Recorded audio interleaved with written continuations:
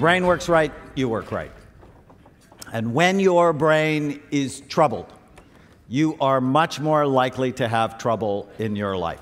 So these are two brain SPECT scans. SPECT is the study that we do at the Amen clinics. SPECT looks at blood flow and activity, looks at how your brain works. It's actually pretty easy to understand because it looks for three things. SPECT scans show us areas of the brain that work well, areas of the brain that are low in activity, and areas of the brain that are high in activity. So, good activity, too little or too much. My jo- job then is to help you balance it. So, here we're looking at the outside surface of the brain. The top is the front part of the brain, the bottom is the back. Healthy is full, even, symmetrical activity. The color doesn't mean anything, it's just the shape. And then you see the brain to your right, and there are like all these holes in it. So this person actually doesn't have like real holes in their brain. The holes indicate areas of highly significant low activity in the brain, and it's everywhere. This is what a typical drug addict or alcoholic's brain looks like. I hate to break it to you. Alcohol is not a health food.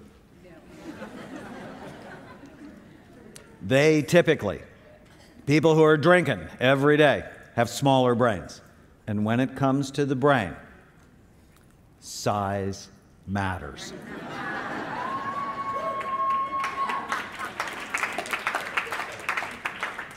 so, simple principle, right? Your brain works right, you work right. Your brain is troubled, you're going to have trouble in your life. But if you really think about this principle with me, it is very disturbing because it directly attacks the notion of free will. Now, all of us think, you know, we all have 100% free will. And I would argue, after looking at 73,000 scans, most of us have about 80% free will.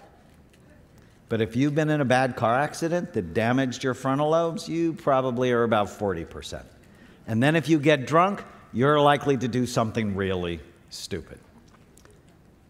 So, with a healthy brain, you're happier, physically healthier. Why? Because it's your brain that makes every single health decision. And you have to make hundreds of them a day. You've had the opportunity at this conference to make many of them. Am I going to bed or am I staying up? You're wealthier. Why? Because your brain makes every financial decision. You're wiser and you're more successful.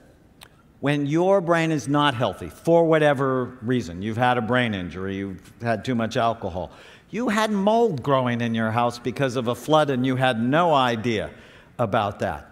You're sadder, sicker, poorer, less wise, and less successful.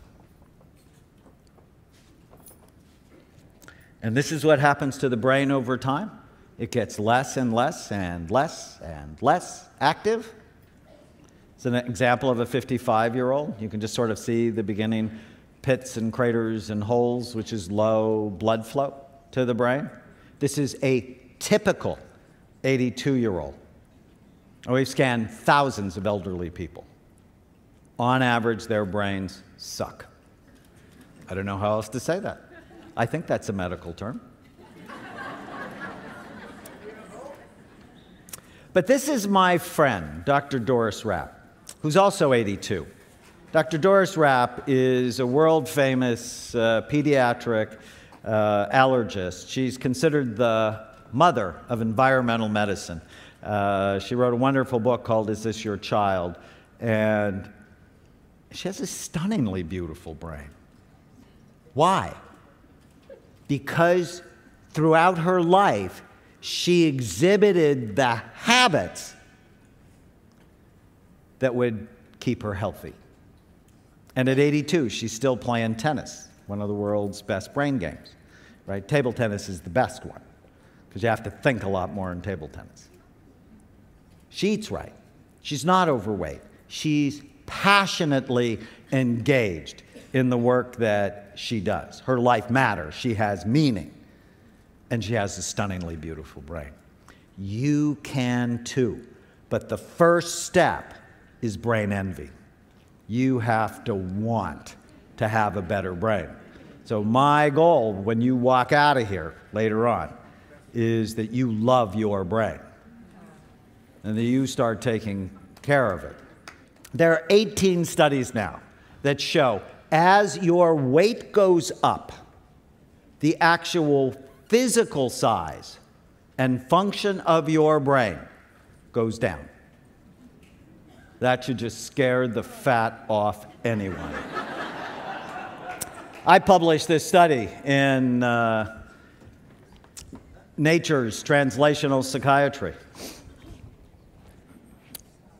Actually, this is in Nature's uh, Obesity Journal, that we looked at our normal group and we looked at our overweight group versus our normal weight group, and the overweight group had low frontal lobe activity.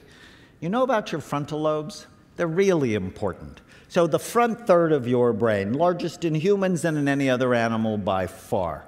30% of the human brain, 11% of the chimpanzee brain, 7% of your dog's brain, 3% of your cat's brain, which is why they need nine lives, they have bad judgment, and 1% of the mouse's brain. They do all these interesting study on mice and try to relate it to people, forget it. Mice are missing this very important part called the prefrontal cortex. The obese people who had a BMI over 30, they had 8% less brain tissue. That's like 8 billion less cells. And their brains look 16 years older than healthy people. And without a healthy brain, nothing in your life is as good as it can be.